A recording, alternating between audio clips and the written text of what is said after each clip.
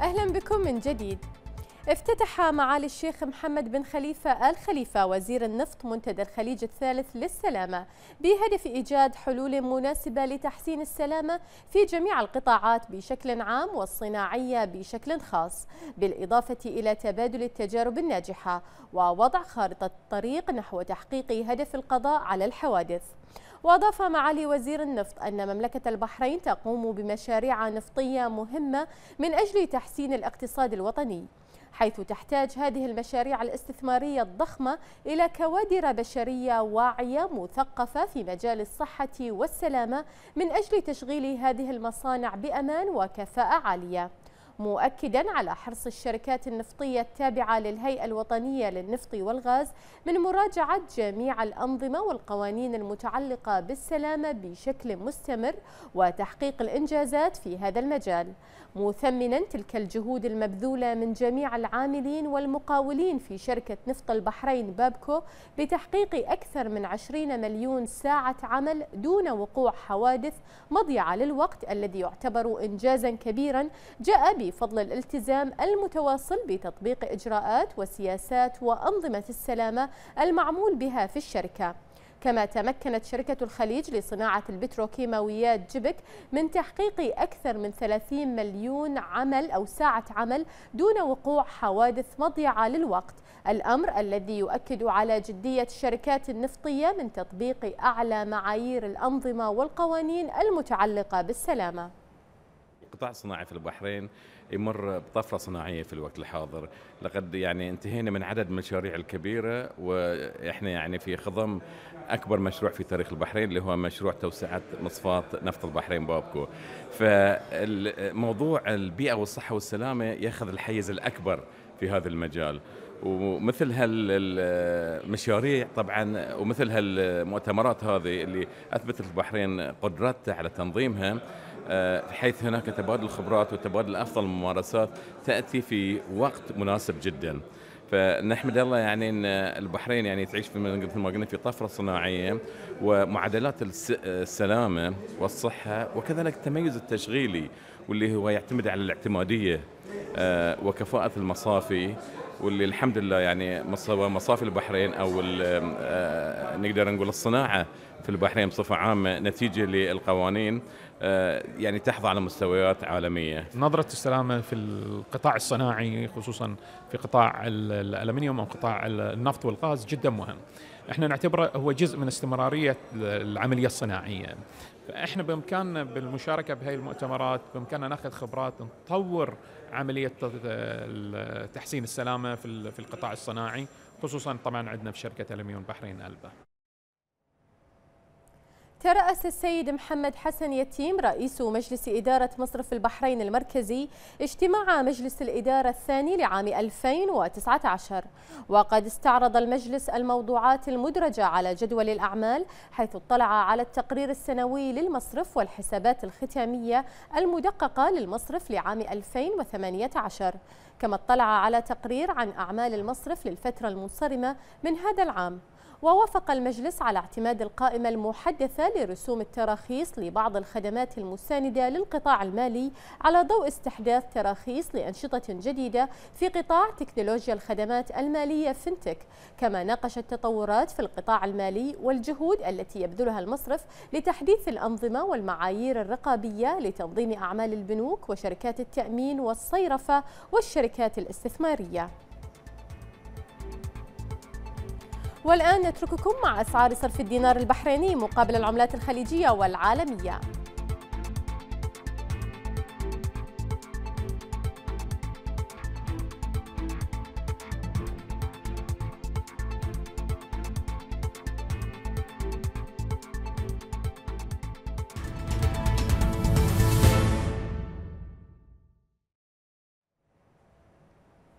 نواصل النشرة الاقتصادية مشاهدينا مع فقرة إغلاقات البورصة ونبدأ مع بورصة البحرين حيث تراجع مؤشر البحرين العام في إغلاق اليوم بنسبة 0.47% بإقفال عند مستوى 1416 نقطة.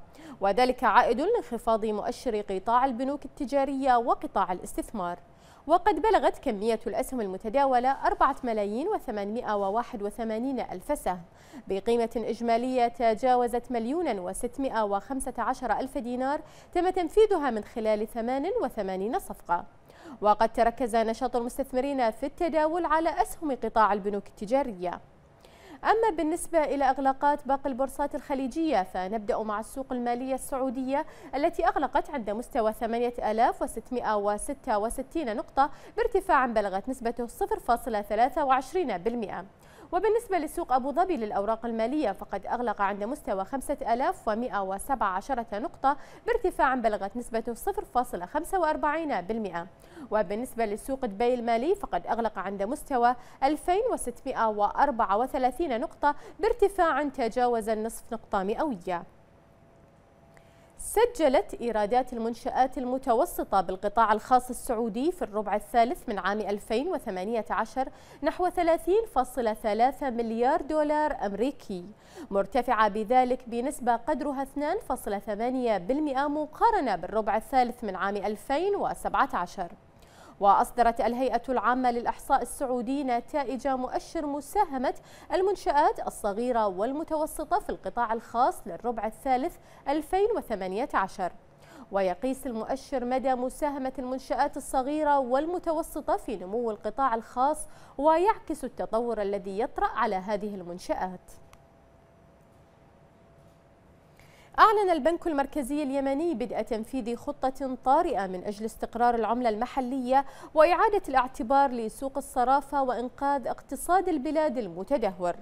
وقال حافظ معياد محافظ البنك الجديد إن البنك المركزي يعمل لاستعادة الاستقرار لسعر الريال اليمني لما يمثله ذلك من أهمية كبيرة في تحسين الوضع الاقتصادي اليمني وتحسين الوضع الإنساني والمعيشي للمواطن اليمني في كل اليمن. وأن اليمن ستبدأ فورا في تطبيق خطة عمل طارئة تهدف إلى فرض الاستقرار في سعر الريال اليمني مقابل العملات الأجنبية.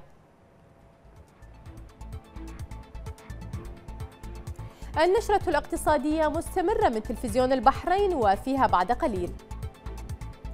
تقارير إخبارية تشير إلى أن صفقة استحواذ أوبر لكريم أوشكت على الانتهاء بقيمة 3.1 مليار دولار.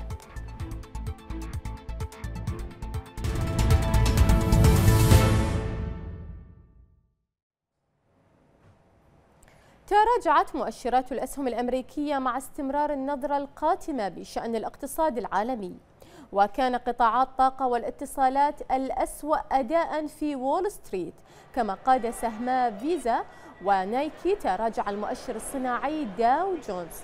وجاء هبوط وول ستريت تزامنا مع تراجع في الأسواق العالمية حيث سجلت الأسهم اليابانية خسائر ملحوظة عند الإغلاق كما تراجعت البورصات الأوروبية خلال التعاملات. عرضت رئيسة الوزراء البريطانية تيريزا ماي أن تستقيل من منصبها إذا ما صوت مؤيدو الخروج من الاتحاد الأوروبي على خطتها. ومن المقرر أن يجتمع البرلمان البريطاني لبحث الخطوة المقبلة. ويستبعد أن تقوم ماي بطرح خطتها للتصويت خاصة مع توقعات برفضها من قبل البرلمان. ووافق الاتحاد الأوروبي على تمديد تاريخ بريكسيت إلى الثاني والعشرين من مايو المقبل في حال حصول ماي على موافقة البرلمان لخطتها للخروج من الاتحاد الأوروبي. والآن نترككم مع أبرز مؤشرات الأسواق العالمية وأسعار النفط والمعادن الرئيسية.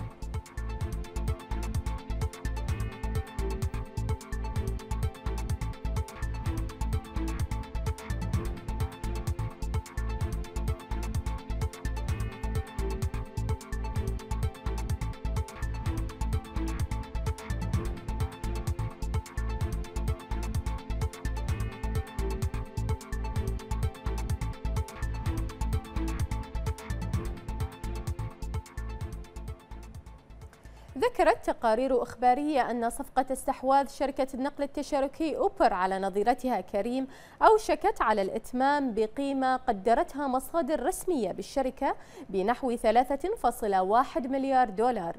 وقالت مصادر بالشركتين لبلومبرج إن إعلان إتمام صفقة الاستحواذ من جانب شركة أوبر الأمريكية على شركة كريم في منطقة الشرق الأوسط في صفقة بقيمة 3.1 مليار دولار سيكون خلال الأسبوع الجاري على أقصى تقدير خلال اجتماع في دبي. وأشارت الوكالة إلى أن أوبر تعمل على تحقيق طموحاتها العالمية في الوقت الذي تستعد فيه للاكتتاب العام وترغب في تعزيز مكانتها في أسواق الشرق الأوسط.